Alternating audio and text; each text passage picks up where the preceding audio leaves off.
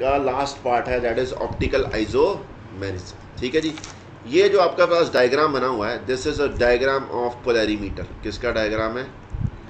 Polarimeter diagram polarimeter की अंदरला diagram ये आपको दिखने में ऐसा नहीं होता पर how it works it is actually like this ठीक है जी? ध्यान से देखो, इधर एक लाइट का सोर्स है। लाइट जब निकलती है सोर्स में से, उसके हर प्लेन में उसकी रेडिएशन वाइब्रेशन होगी। ठीक है it will vibrating in all the directions फिर एक पोलराइजर होता है। क्या होता है? पोलराइजर या ग्रेटिंग बोलते हैं ये लाइंस पड़ी हुई हैं। जब ये इसमें से लाइट इसमें से पास करेगी, ये देखो यहाँ से जो लाइट निकली है आगे, ये जो लाइट आगे निकली है, ये पहले हर डायरेक्शन वाइब्रेट कर रही थी, ये सिर्फ़ एक डायरेक्शन में वाइब्रेट कर रही है। क्लियर है? ऐसी डायरेक्शन है ना? ठीक है? तो this is called plane polarise light ऐसी लाइट जो एक जो एक ही डायरेक्शन में वाइब्रेट कर रही हो that is called plane polarise जैसे आप आप पोलराइजर वो यूज़ करते हो ना, आप सन ग्लासेस पोलराइज होते हैं ना ग्लासेस उसका मतलब क्या होता है? वो रेडिएशंस को ऐसे ही करते हैं, वो फ़िल्टर एक होता है मोनोक्रोमीटर मोनोक्रोमीटर अब ये जब लाइट निकलेगी वाइट लाइट का सोर्स हो white light is made of seven colours ठीक है जी? एक होगा, फिर मोनोक्रोमीटर लगा होता है. मोनोक्रोमीटर क्या करेगा? इसमें सात लाइट में से छः लाइट को फ़िल्टर कर देगा, एक लाइट को आगे जाने देगा. एक तरह की फ्रीक्वेंसी रेडिएशन को आगे जाने देगा। तो आपने मोनोक्रोमेटिक प्लेन पोलराइज लाइट चाहिए आपको। आपको कैसे चाहिए? लाइट क्या होनी चाहिए? मोनोक्रोमेटिक भी होनी चाहिए। मोनोक्रोम मतलब कलर सिंगल कलर मोनोक्रोमेटिक का मतलब सिंगल कलर वाली रेडिएशन चाहिए। कोई भी आप चूज़ कर लो, ठीक है जी? और प्लेन पोलराइज लाइट चाहिए। फिर उसको आपने पास करना है किसमें से? ये क्या लिखा हुआ एक कैसे? सैंपल होल्डर होता है। क्या होता है? Sample holder sample tube with a solution इसमें सोल्यूशन होगा। किसका? ऑप्टिकली एक्टिव सब्सटेंस का। ऑप्टिकली एक्टिव सब्सटेंस का या मॉलिक्यूल का। समझ लगी? सब्सटेंस ऑप्टिकली एक्टिव होना चाहिए मॉलिक्यूल ऑप्टिकली एक्टिव होना चाहिए, ठीक है जी? यानी कि सब्सटेंस कायरल होना चाहिए, ठीक है जी? अब जब आपने इसको यहाँ से पास करा, देखो, ये पहले इस इस इस इस एक्सिस में वाइब्रेट कर रहा था, अब थोड़ा सा रोटेट हो गया। हो गया कि नहीं हो गया?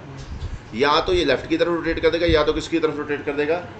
आपने यही इसको, ये जो होता है क्या बोलते हैं, ऐसे स्केल लगा होता है, उसके ऊपर आपने रोटेट करके देखना तो वो आपको रोटेट करने का कंप्यूटराइज होगा, अपने आप रीडिंग आ जाती है। या तो वो राइट की तरफ़ रोटेट करता है, या तो किसकी तरफ़ रोटेट करता है लेफ़्ट की तरफ़। ठीक है जी? क्लियर है? या तो राइट की तरफ़, या तो अगर यहाँ पे सोल्यूशन आपने कौन सा रखा हुआ है ऑप्टिकली एक्टिव सब्सटेंस का तो या तो ये जो प्लेन होगा राइट की तरफ़ रोटेट हो जाएगा, या किसी तरफ़ रोटेट हो जाएगा लेफ़्ट की तरफ़। आपने यही एंगल जितना एंगल पर रोटेट करा है, वो बोलते हैं एंगल ऑफ़ रोटेशन क्या बोलते हैं? यही आपने नोट करना होता है. चाहे वो लेफ़्ट की तरफ़ रोटेट करे, चाहे वो राइट की तरफ़. अगर लेफ़्ट की तरफ़ रोटेट करे तो उसका साइन नेगेटिव होता है. अगर राइट की तरफ़ रोटेट करे तो उसका साइन पॉजिटिव में लिखना है. ठीक है जी? अगर लेफ़्ट की तरफ़ रोटेट करा है तो लिवो रोटेटरी है. लिवो रोटेटरी रोटेटरी आगे. ठीक है जी? रोटेटरी मतलब ऐसे सब्सटेंस ऑप्टिकली एक्टिव सब्सटेंस जो कि मोनोक्रोमेटिक पोलराइज्ड को किसकी तरफ़ रोटेट कर दे लेफ़्ट की तरफ़। और ऐसे ही डेक्स्ट्रो रोटेटरी क्या होगा? डेक्स्ट्रो रोटेटरी डेक्स्ट्रो रोटेटरी आगे आर ओ टी स्पेलिंग आते हैं ना रोटेटरी के। डेक्स्ट्रो रोटेटरी क्या होगा? जो क्या हो जाए? राइट की तरफ़ रोटेट करें मोनोक्रोमेटिक प्लेन लाइट को। ठीक है जी? प्लस से लिखते हैं या माइनस से लिखते हैं? ठीक है जी? अब इसको स्मॉल डी से लिखते हैं। डेक्स्ट्रो रोटेटरी को रिप्रेजेंट करना हो, कैसे लिखते हैं? स्मॉल डी से। लीवर रोटेटरी को रिप्रेजेंट करना हो स्मॉल एल से रोटेट करना। ठीक है कि नहीं ठीक है? क्लियर है कि नहीं क्लियर है? यानी समझ लगी, या तो लाइट लेफ़्ट की तरफ़ जाएगी, या तो राइट ठीक है जी? अगर सब्सटेंस क्या हो? ऑप्टिकली एक्टिव हुआ। ठीक है जी? आपको मोनोक्रोमेटिक का मतलब समझ लग गया। आपको प्लेन पोलराइज लाइट का मतलब समझ लग गया। अब पोलराइजर का काम क्या है कि लाइट को प्लेन पोलराइज करना मोनोक्रोमेटिक का काम क्या होगा? और ये जो ये जो पोलराइजर होता है, या तो डाइफ्रैक्शन ग्रेटिंग होती है लाइंस पड़ी होती हैं प्रिज्म के ऊपर, या तो प्रिज्म होता है, या तो डाइफ्रैक्शन ग्रेटिंग होती है, जो कि आपको प्लेन पोलराइज लाइट प्रोवाइड करती है। क्लियर ठीक है? या तो यहाँ पे डाइफ्रैक्शन ग्रेटिंग लगी डाइफ्रैक्शन आपने पढ़ा होगा फिजिक्स में? पढ़ा गया इंटरफेरेंस डाइफ्रैक्शन डाइफ्रैक्शन ग्रेटिंग होगी, या क्या होगा? प्रिज्म होगा। ठीक है? क्लियर है क्या नहीं क्लियर है? तो ये जो, जिस जितना एंगल पे रोटेट करा है, उसको बोलते हैं एंगल ऑफ़ रोटेशन ठीक है जी? जो तो चीज़ ऐसा कर पाएगी उसको ऑप्टिकली एक्टिव बोलेंगे जो सीधा ही पास कर दे जो लाइट को बिल्कुल भी रोटेट ना करे उसको बोलेंगे ऑप्टिकली इनएक्टिव सब्सटेंस क्या बोलेंगे? या तो सब्सटेंस ऑप्टिकली एक्टिव होगा या तो सब्सटेंस ऑप्टिकली इनएक्टिव होगा. जो सब्सटेंस ऑप्टिकली एक्टिव होगा उसको बोलेंगे वो क्या शो कर रहा है? ऑप्टिकल आइसोमेरिज्म शो कर रहा है. क्या कर रहा है? शो कर रहा है. क्लियर है कि नहीं क्लियर है? ठीक है जी. और जो नहीं कर रहा मतलब वो optical it is not optically active ठीक है जी? और जो शो जो आइसोमर याद देखो, समझ लग गई? कहने लगी। क्लियर है जी? अब ऑप्टिक जो आइसोमर जो आइसोमर बनेंगे, उनको क्या बोलेंगे? ऑप्टिकल आइसोमर बोलेंगे। क्या बोलेंगे? ऑप्टिकल आइसोमर्स अभी तक बात क्लियर हुई कि नहीं हुई? सारी क्लियर हो गई है? टर्मिनोलॉजी क्लियर ऑप्टिकल आइसोमरिज्म क्या होती है? ठीक है जी? देखो, अभी तक आपने तीन टाइप की तीन टाइप की आपने स्टीरियो आइसोमरिज्म पढ़ ली है। Can you tell me which which one was isomerism other is geometrical and third is conformation conformation isomerism कैसे आती थी? By free relation about single bond ठीक है जी? आपको पता होना चाहिए ना कौन सी कैसे आती है? आपने स्टीरियो अभी मैंने स्टीरियो क्यों कराई क्योंकि स्ट्रक्चर मैंने रिकॉर्ड करी हुई थी पहले, ठीक है जी? स्टीरियो में कित- कौन कौन सी टाइप की पड़ी है? One is G I geometrical one is O I optical and isomerism and other is C I that is conformation ये क्या होती है? By free rotation around single sigma bond ठीक है जी? अराउंड सिग्मा बॉन्ड क्लियर है कि नहीं क्लियर है? और ये क्या है? Restricted rotation around restricted rotation किसके इर्द गिर्द?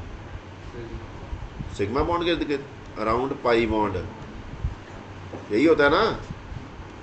जो। नहीं कार्बन का और नाइट्रोजन का भी हो सकता है। Around pi bond optical isomerism arises by कैसे? नहीं। By rotation of plane polarise light by optically active substance ठीक है जी? क्लियर है कि नहीं क्लियर है? समझ लगी कि नहीं लगी? ओके है। तो चलो, अब आगे चलते हैं। एंगल नोट करना है। ठीक है जी? समझ लगी एंगल ऑफ़ रोटेशन बोलते हैं उसको।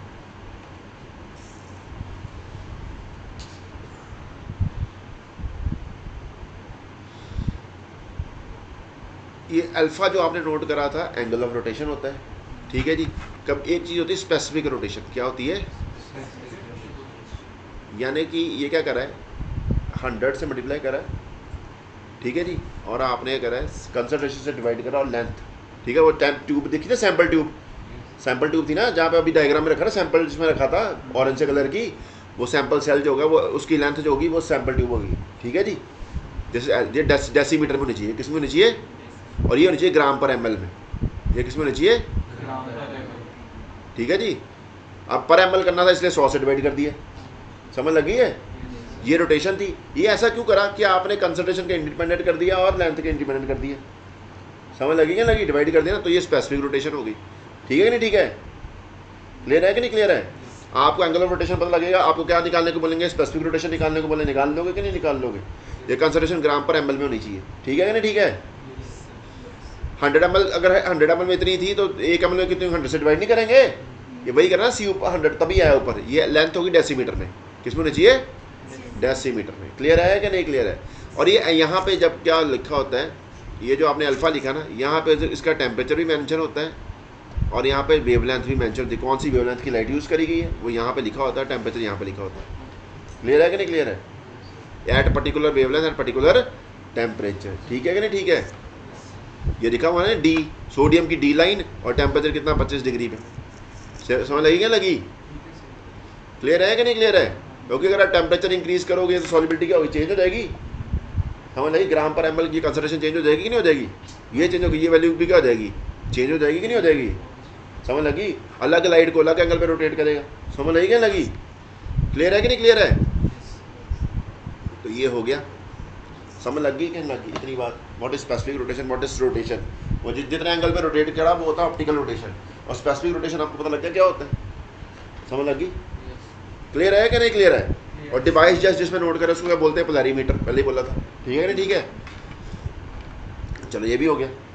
अब आपको एक चीज़, दो तीन चीज़ें करानी है जो यहाँ पे बड़ी सारी इतनी बातें अपने को पढ़ने की ज़रूरत नहीं। ये बातें आपको चौबीस घंटे पता होनी चाहिए। ठीक है जी? एक बात, पहली पॉइंट आपने नोट करा था डायग्राम में क्या लिखा था? Solution of optically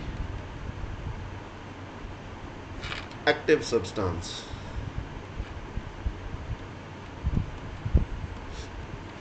optically active substance क्या होगा? यहाँ ऑप्टिकली एक्टिव सब्सटेंस और मॉलिक्यूल ध्यान से लिखना ये बड़ा इंपॉर्टेंट क्वेश्चन है मॉलिक्यूल ठीक है जी? ऑप्टिकली एक्टिव सब्सटेंस और मॉलिक्यूल क्लियर है कि नहीं क्लियर है? समझ लगी? या इसको बोलेंगे कायरल सब्सटेंस क्या बोलेंगे? मैंने क्या वर्ड यूज़ करा है? कायरल सब्सटेंस वर्ड यूज़ करा है। सब्सटेंस की बजाय क्या लिखा हो सकता है? कायरल मॉलिक्यूल अब बोलो सर कायरल क्या होता है? ये नई चीज़ टर्मिनोलॉजी आ गई। क्लियर है कि नहीं क्लियर है? समझ लगी? कौन सा सब्सटेंस ऑप्टिकली एक्टिव होता है? जो कि कायरल हो। ठीक है जी? सोल्यूशन किसका होना चाहिए थे? कायरल सब्सटेंस का। ठीक है जी? ऐसा नहीं है। नोट मॉलिक्यूल में बी एक chiral दो it has chiral centre chiral carbon. Though it has chiral carbon. समझ लगी? मैंने क्या बोला, क्या कायरल क्या चीज़ कायरल होनी चाहिए? मॉलिक्यूल कायरल होना चाहिए। कायरल कार्बन होने से कुछ नहीं होता। हो सकता है मॉलिक्यूल में कायरल कार्बन हो, फिर भी मॉलिक्यूल क्या हो? ए कायरल हो। ठीक है जी? अब कायरल होता है एसिमेट्रिक मतलब क्या होता है कायरल का? एसिमेट्रिक मॉलिक्यूल क्या होना चाहिए? एसिमेट्रिक होना चाहिए। ठीक है जी? ए कायरल का मतलब क्या हो गया? सिमेट्रिक समझ लग गई? ठीक है जी, जो सिमेट्रिक सब्सटेंस होंगे, वो ऑप्टिकली इनएक्टिव होंगे, जो एसिमेट्रिक सब्सटेंस होंगे, वो क्या होंगे? ऑप्टिकली एक्टिव होंगे। समझ लग गई है? मॉलिक्यूल ऑन द होल क्या होना चाहिए? कायरल होना चाहिए। अकेला कायरल कार्बन होने से कुछ नहीं होता। समझ लगी ठीक है जी, अब कायरल कार्बन क्या होता है? बोलो सर कायरल कार्बन क्या होता है? ये बड़ा क्वेश्चन इंपॉर्टेंट है। समझ लगी कायरल कार्बन क्या होता है? ये कार्बन एक ऐसा कार्बन जिस पे जो चारों ग्रुप लगे हुए हैं, वो क्या लगे हुए हैं? डिफरेंट लगे हुए हैं। ऐसा कार्बन सिंगली बॉन्डेड कार्बन जिस पर चारों ग्रुप क्या लगे हुए हैं? Different this this is called chiral carbon क्या बोलते हैं? समझ लगी क्या लगी? समझ लगी? कार्बन जिसके with singly bonded carbon is all the four groups different is called as chiral carbon समझ लगी क्या लगी ठीक है जी ठीक है समझ लग गई अब ये बताओ यहाँ पे ये कायरल कार्बन है कि नहीं है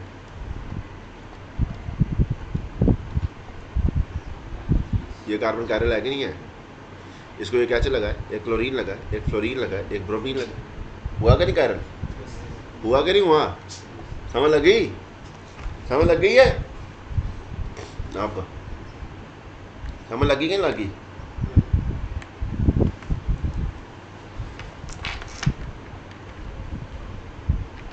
note, if a molecule has single chiral carbon एक, अगर एक मॉलिक्यूल में सिर्फ़ एक ही कायरल कार्बन है is chiral hundred percent chiral then molecule is hundred percent chiral clear है कि नहीं क्लियर है? समझ लग गई?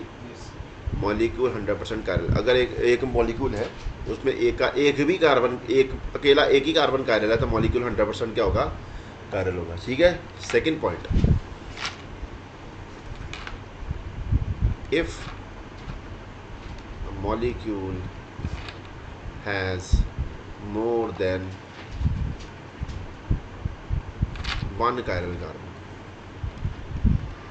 अगर मॉलिक्यूल में एक से ज़्यादा कार्बन क्या है? कायरल हैं, तब क्या होगा? दो सिचुएशन आ जाएँगी। मॉलिक्यूल में भी chiral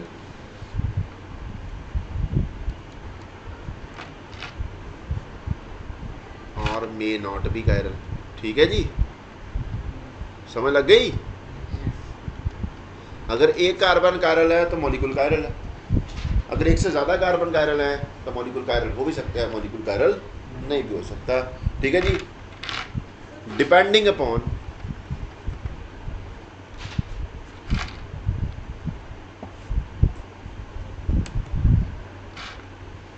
absence of any element of symmetry. Absence of any element of symmetry किसी भी तरह का एलिमेंट ऑफ़ सिमेट्री नहीं होना चाहिए। समझ लग गई? अब एलिमेंट ऑफ़ सिमेट्री क्या, वो पढ़ेंगे आगे। Presence of any element of symmetry clear है कि नहीं क्लियर है? क्लियर है कि नहीं क्लियर है? समझ लगी? अगर तो मॉलिक्यूल में कोई एलिमेंट ऑफ़ सिमेट्री है तो मॉलिक्यूल में एक से ज़्यादा कायरल कार्बन भी है तो मॉलिक्यूल कायरल नहीं होगा। समझ लगी? अगर मॉलिक्यूल में एलिमेंट कोई भी एलिमेंट ऑफ़ सिमेट्री नहीं है मतलब क्या है? मॉलिक्यूल में एक से ज़्यादा कायरल कार्बन भी हैं तो मॉलिक्यूल क्या होगा? कायरल समझ लगी? क्लियर है कि नहीं क्लियर है? ठीक है जी? अब एलिमेंट ऑफ़ सिमेट्री क्या क्या है? आप बताओ मॉलिक्यूल को ऑप्टिकली एक्टिव होने के लिए उसमें कायरल कार्बन हो तो मॉलिक्यूल एक्टिव होगा कि molecule on the whole should be chiral molecule on the whole should be chiral अकेला कार्बन कार्बन होने से कुछ नहीं होता क्योंकि हो सकता है एक से ज़्यादा कायरल कार्बन हो और उसमें एलिमेंट ऑफ़ सिमेट्री भी हो तो मॉलिक्यूल का बन जाएगा। ए कायरल बन जाएगा। ए कायरल कायरल का मतलब कायरल का मतलब होता है ए सिमेट्री कायरल का मतलब होता है ए कायरल का मतलब होता है सिमिट्री ए उल्टा लगा होता है यहाँ पे. कायरल ए कायरल में उल्टा लगा होता है. ए उस उस जिसके नाम में ए लिखा है, वो सिमिट्रिकल है. जिसके नाम में ए लिखा है, वो क्या है? ए सिमिट्रिकल ठीक है कि नहीं? ठीक है. क्लियर है कि नहीं क्लियर है? अब कौन कौन से एलिमेंट ऑफ़ सिमिट्री है? एलिमेंट ऑफ़ सिमिट्री क्या होता है? भाई, कौन सा ऑपरेशन अगर हम करें ऑपरेशन मतलब ये नहीं कि चीज़ फाड़ करें मॉलिक्यूल के ऊपर कौन सा कोई चीज़ अप्लाई करें ताकि हमारे पास आइडेंटिकल स्ट्रक्चर बन जाए that is called element of symmetry operation which can applied to a molecule produces exactly same molecule as the starting that is called element of symmetry. एक ऑपरेशन है जो आप मॉलिक्यूल पे अप्लाई करोगे। ठीक है जी? Operation applied on applied on molecule to produce exact same structure. ठीक है जी? Exact same structure. ठीक है जी? हमें लगी क्या लगी?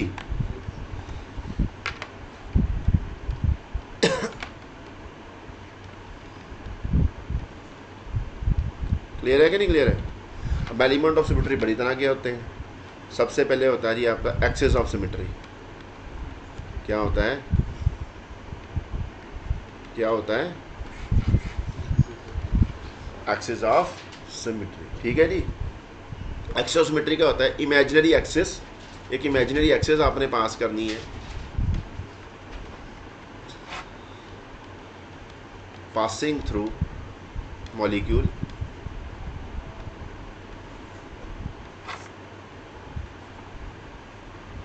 rotation about which produces.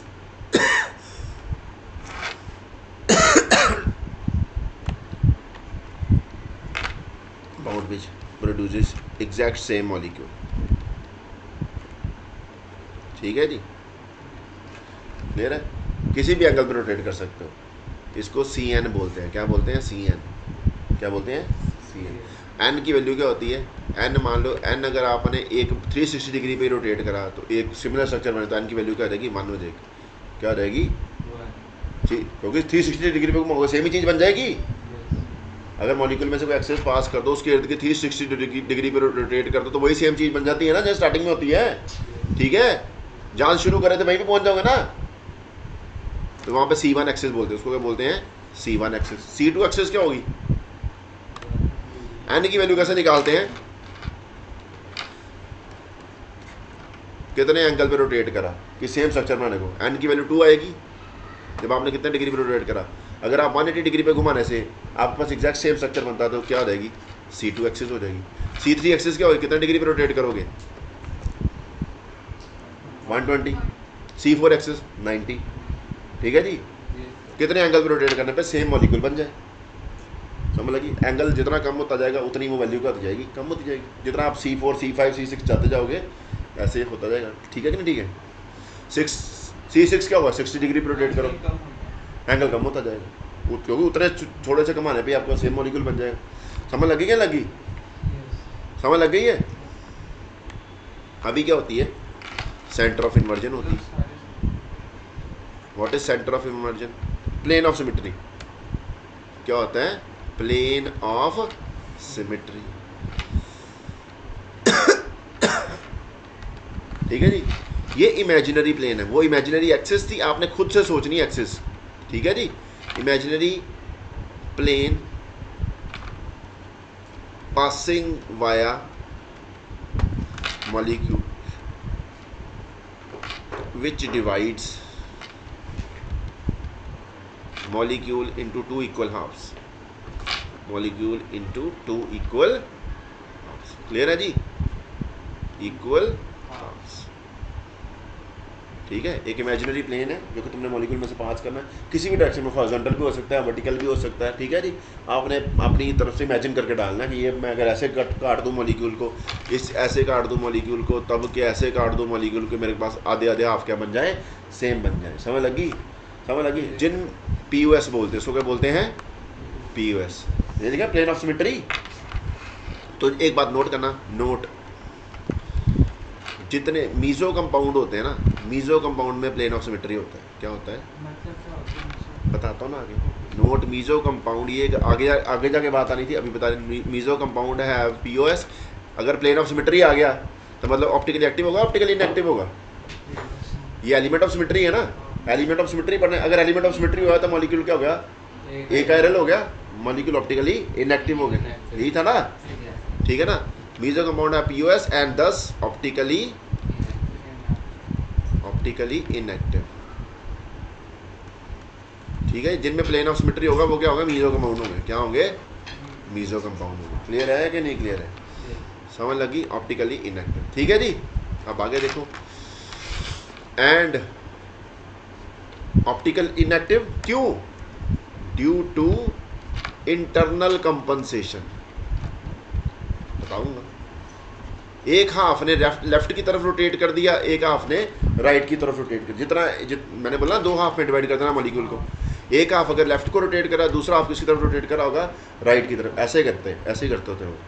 ठीक है? मान लो इसने माइनस तीस पे रोटेट कर दिया इसने प्लस तीस पे रोटेट कर दिया। ओवरऑल रोटेशन क्या होगी? ज़ीरो नहीं होगी?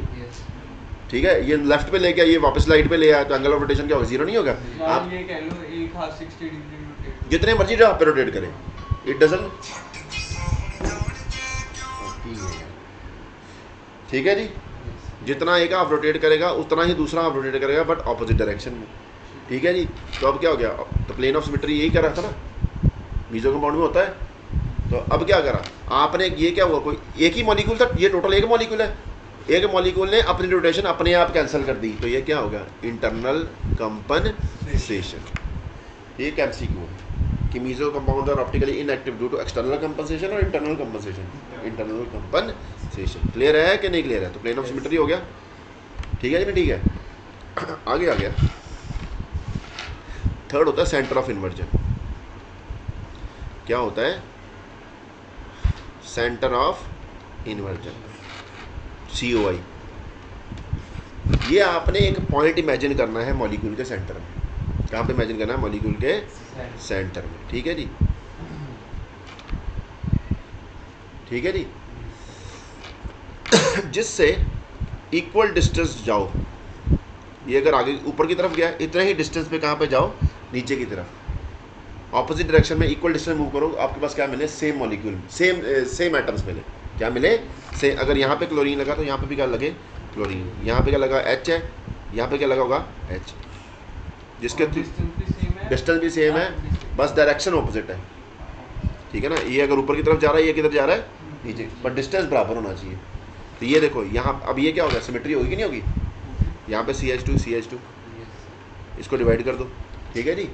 तो ये क्या बन गया? सेंटर ऑफ़ इसको इन्वर्ट कर दोगे, इसके इर्द गिर्द घुमा दोगे।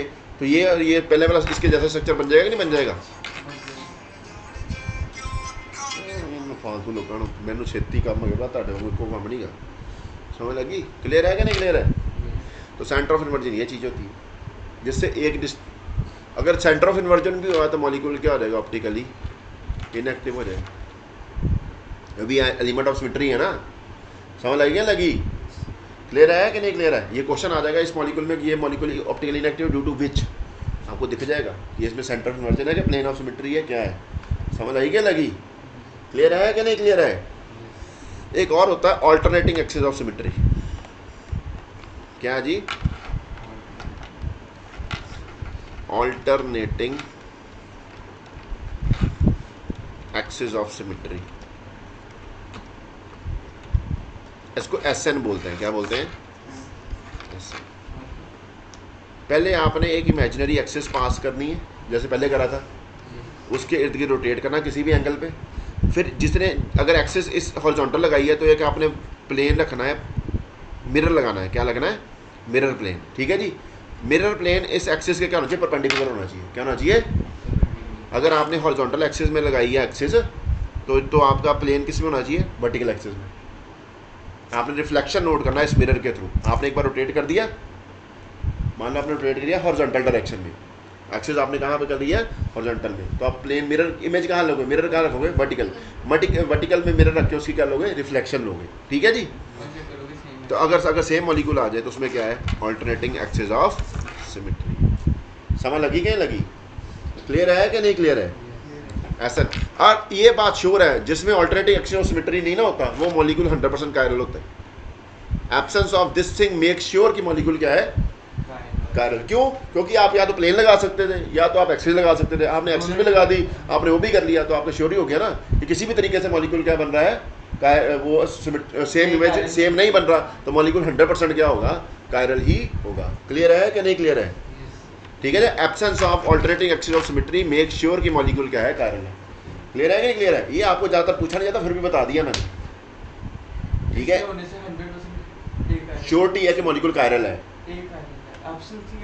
ये एब्सेंस है ना? अगर एब्सेंस है अगर होगा तो फिर तो यार हाँ वो होगा तो फिर तो है ही ना। फिर तो बेटा करके ही गया है। किसी भी एलिमेंट ऑफ़ सिमेट्री की प्रेजेंस मतलब ऑप्टिकली इनएक्टिव किस इसकी अब किसी दूसरे की प्रेजेंस हो सकता है मॉलिक्यूल कायरल हो या ना हो बट इसकी जो एब्सेंस है वो श्योर कर देती है कि मॉलिक्यूल क्या है? कायरल है। एब्सेंस ठीक है ना?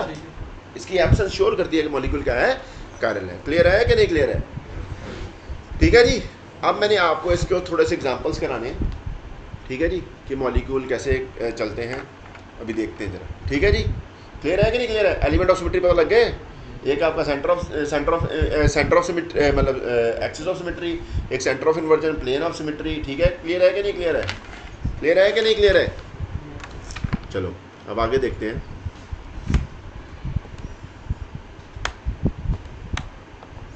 बताओ। आपको अगर रिप्रेजेंट करना था, क्या बोलते हैं, किसको? आप यहाँ पे आपके पास दो तरह की कन्फिग्रेशन नोट करते हो। क्या तरह की नोट करते हो? दो तरह की कन्फिग्रेशन नोट करते हो। क्या नोट करते हो? दो तरह की कन्फिग्रेशन नोट करते हो। ठीक है जी? One is R and S इसको बोलते हैं एब्सल्यूट क्योंकि इसमें कोई भी स्टैंडर्ड नहीं है। ठीक है जी? ये एब्सोल्यूट कन्फिग्रेशन है, एक होता है capital D and capital L ठीक है जी? ये डेक्स्ट्रोटेटरी लीवरोटेटरी नहीं है। ये capital D and capital L है। ये भी कन्फिग्रेशन है। समझ लगी क्या लगी? समझ लग गई? ये होता है, ये होता है रिलेटिव कन्फिग्रेशन ये क्या होता है? रिलेटिव कन्फिग्रेशन कौन सा एब्सोल्यूट मेथड है? R and S R means rectus and S means sinister sinistral. ठीक है बेटा जी? समझ लग गई? डी ए डी आप एल का कुछ भी ऐसा नहीं होता, ये कुछ और चीज़ है। ठीक है जी? समझ लगी रिलेटिव इसमें आपका स्टैंडर्ड होता है ग्लिसरल्डिहाइड क्या होता है? स्टैंडर्ड होता है, क्या होता है? ग्लिसरल्डिहाइड चूज़ करते हैं। क्या चूज़ करते हैं? ग्लिसरल्डिहाइड ठीक है कि नहीं? ठीक है। ग्लिसरोल आपने पढ़ी थी? ग्लिसरोल मैंने पढ़ाई हुई ना? ग्लिसरोल क्या होते हैं? कितने कार्बन होते हैं ग्लिसरोल में? ग्लिसरोल में कितने कार्बन होते हैं? एक, दो, तीन कार्बन होते हैं। तीनों कार्बन पे क्या लगा होता है? ओ OH लगा होता है। यही होता ना? ग्लिसरीन जिसको बोलते हैं। भूल जाओ, और भी क्या चाहिए अपने को ज़िंदगी में? यही हुआ ना? ये ग्लिसरोल होता है। ग्लिसरल्डिहाइड क्या होगा? एक जगह पे एल्डिहाइड लगा हुआ। तो जहाँ पे एल्डिहाइड लगा होता कार्बन वही वही नंबर होएगा ना? वन क्योंकि उसको प्रेफरेंस देनी है। तो वो सबसे ऊपर लगा दिया हमने। लग गया क्या लग गया? तो अब ये H और ओ OH और नीचे क्या आ गया? C H two O H ठीक है जी? क्लियर है कि नहीं क्लियर है? ये होता है ग्लिसरल्डिहाइड का स्ट्रक्चर बोलेगा? भूल जाएगा तो ग्लिसरॉल का ही याद नहीं ग्लिसरल्डिहाइड कैसे याद करें। ठीक है जी? अब ये देखो, इसमें से ये स्मॉल है, ये क्या है? लार्ज ठीक है जी? ये कर, ये जो आप ऐसे करके लिख दोगे, ये सी एच ओ लिख सकता हूँ ऊपर? ये कार्बन सी एच हो गया। यहाँ पे एच लिख दिया, ये ओ एच लिख दिया, ये क्या लिख दिया? C H two O H ये वाला सेंटर वाला कार्बन ये जो क्रॉस वाला मेथड होता है ना, इसको बोलते हैं फिशर प्रोजेक्शन इसको क्या बोलते हैं? मैंने बोला था ना, एक और मेथड होता है थ्री डी को रिप्रेजेंट करने का that is Fischer projection clear है कि नहीं? ये फिशर प्रोजेक्शन ठीक है जी? समझ लगी क्या लगी? अगर आपका फिशर प्रोजेक्शन में small group on the left हो और large group on the right हो उसको बोलते हैं डी क्या बोलते हैं? आपने कहा से, ये C H two O H है ना? जितना मर्ज़ी आपका ऊपर, जितने मर्ज़ी ऐसे क्रॉस बने हो, जो लास्ट वाला C H two O H वाला कार उससे ऊपर वाली कन्फिगेशन नोट करनी उससे ऊपर नहीं देखना। सिर्फ़ C H two O H वाले के साथ वाले कार्बन से देखना ओ एच जो बड़ा ग्रुप किधर है। वो बड़ा ग्रुप अगर राइट पे है तो डी है, अगर बड़ा ग्रुप लेफ़्ट पे है तो एल है। क्लियर है कि नहीं क्लियर है? क्या बोल रहा हूँ? अभी देखता हूँ, बताता हूँ। अब इसको क्या बोलेंगे? ये क्या है? डी है क्या एल है? इससे ऊपर वाले कारणों में देखनी थी। ये बड़ा ग्रुप इधर है ये इधर है। ठीक है इसको आप बोलेंगे एल ठीक है जी? कैसे करके लिखना है? ऐसे है ना देखो तो। हैं? तो वो वो डी हो गया। मेरा इमेज नहीं होगी इसकी? मिरर इमेज में क्या होता लेफ़्ट राइट बन जाता राइट लेफ़्ट नहीं बन जाता? ये मिरर इमेज नहीं होगी इसकी? ठीक है ना? समझ लगी क्या लगी? तो पहले डी एल लिखना। एक ही चीज़ है। और नहीं भाई एक चीज़ नहीं है अभी तो ना। ये थ्री डी स्ट्रक्चर है भाई। ये इस स्ट्रक्चर में अब एक दो मिनट रुक जाओ जरा बताता हूँ। ठीक है जी? अभी बाद में बताता हूँ अभी इतना पता लग गया डी एल कैसे डिसाइड करना। समझ लगी? पहले आगे चलते जाना तुम एंड पे मत पहुंचो। ये एंड की तुम एंड पे पहुँच गए हो। एल ठीक है जी? अब बताओ जरा यहाँ पे बताओ।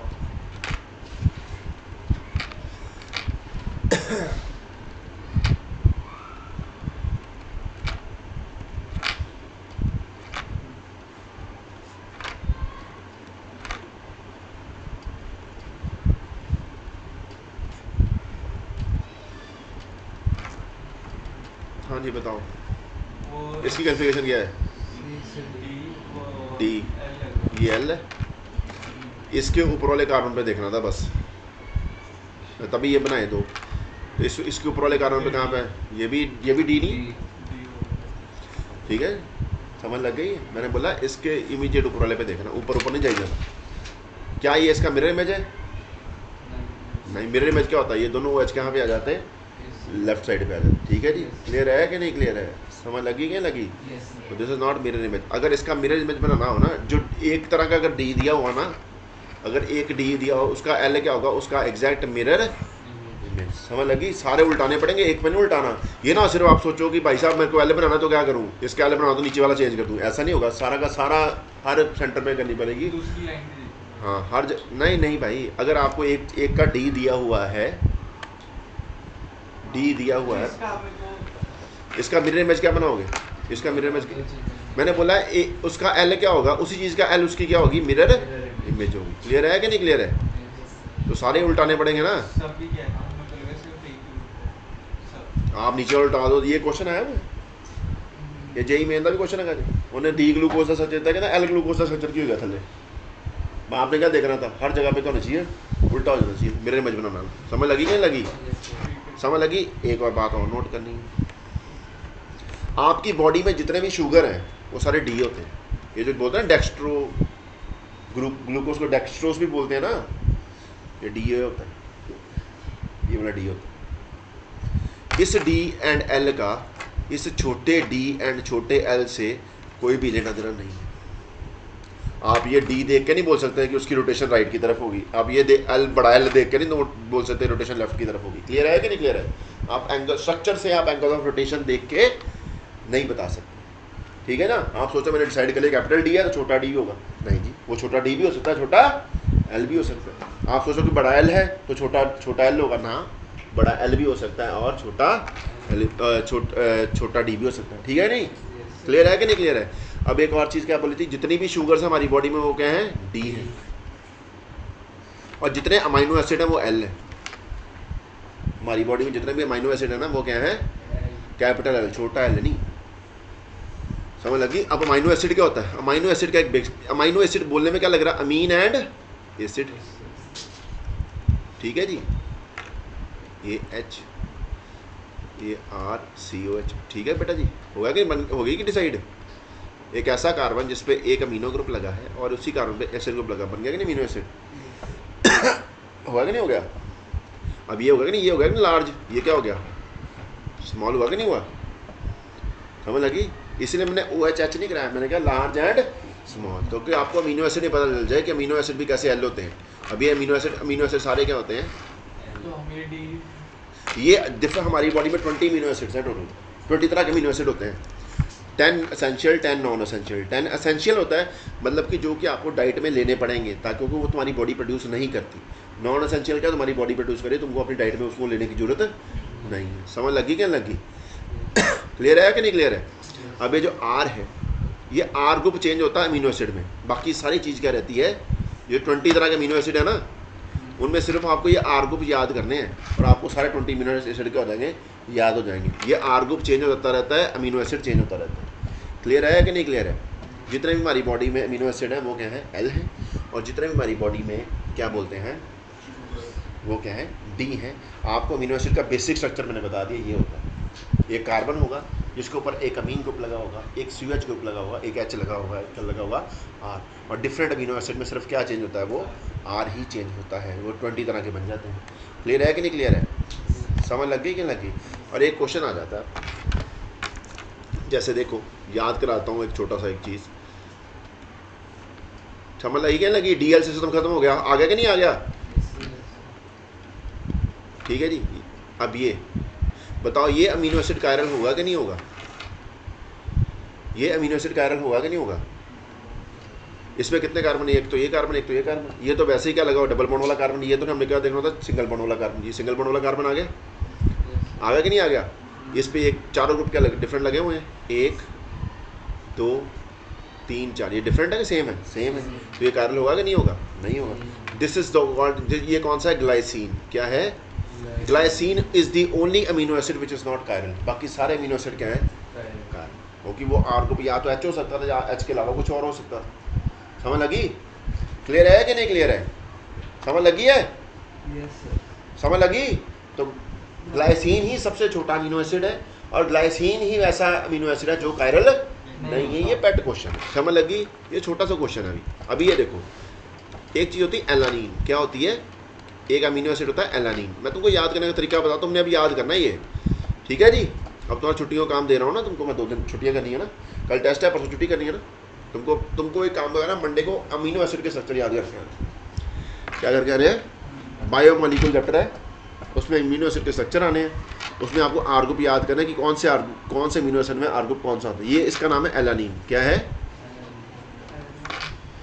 क्या बताओ इसमें कायरल कार्बन है? हाँ जी, है। ये वाला कार्बन देखो कायरल है। क्या ये मॉलिक्यूल कायरल है कि नहीं है? क्यों नहीं है अभी मैंने क्या बोला था? जिस जिस मॉलिक्यूल में सिर्फ़ एक ही कार्बन कायरल है, वो मॉलिक्यूल हंड्रेड परसेंट क्या है? कायरल बोला था कि नहीं बोला था? ठीक है ना? ठीक है ना? तो एलानिन कायरल हुआ कि नहीं हुआ? क्योंकि इसमें एक ही कार दो ही कार्बन है एक तो सी वाला की है। समझ लग गई? तो ये तो कार्बन कायरल है जिस मॉलिक्यूल में ठीक है जी? तो ये एलानिन हो गया। ठीक है? सी एच थ्री अब फिनाइल एनालिन क्या होगा? What will be this phenyl नहीं लगेगा बेटा। एलानिन में ये ए, एक एच की जगह क्या लग जाएगा यहाँ पे? फिनाइल लग जाएगा। ये फिनाइल एलानिन हो जाएगा। समझ लगी? एलानिन की आवाज़ तो आ ही रही है ना? पहले तो एलानिन हो जाए उसमें फिनाइल याद करने का तरीका हो गया? समझ मैंने ग्लाइसिन ही बोला था glycine is the only amino acid which is not chiral बाकी सारे क्या है? अमीनो एसिड की बात करिए हाँ, हाँ। अब बाकी तो अगर अब डिसाइड करना पड़े। मैंने तुमको एक बात बोली थी क्या बात बोली थी? कि अगर मॉलिक्यूल में एक ही कार्बन कायरल है तो मॉलिक्यूल तो हंड्रेड परसेंट श्योर हो जाओगे वो क्या है? कायरल है वो ऑप्टिकल एक्टिविटी शो करेगा। अगर मॉलिक्यूल में एक से ज़्यादा कार्बन कायरल है तो हो सकता है वो मॉलिक्यूल कायरल हो या ना हो। ठीक है जी? क्यों? क्योंकि हो सकता है उस मॉलिक्यूल में एलिमेंट ऑफ़ सिमेट्री हो या ना हो। एलिमेंट ऑफ़ सिमेट्री डिफरेंट तरह के आपने पढ़े हैं। ठीक है जी? वो आपको डिसाइड करने पड़ते हैं। क्लियर है कि नहीं क्लियर है? समझ लगी क्या लगी? आपको मैंने यार डी एल कन्फिग्रेशन भी सिखा दी है। आपको मैंने एलिमेंट ऑफ़ सिमेट्री भी पढ़ा दी है। ठीक है जी? आपको मैंने एक चीज़ ये भी बता दी है ग्लाइसिन का। आपको मैंने डी एल डिसाइड करना सिखा दिया। हमारी बॉडी में जितने अमीनो एसिड है, वो एल है। जितने भी शुगर्स हैं, वो डी हैं। ठीक है जी? आपको मैंने आर एस कराना है। इनहेंचर में डायस्टी नंबर कराना है। ठीक है जी? इतना बात आज के लिए बहुत है इसके आगे पक जाओ। ठीक है जी? समझ लगी?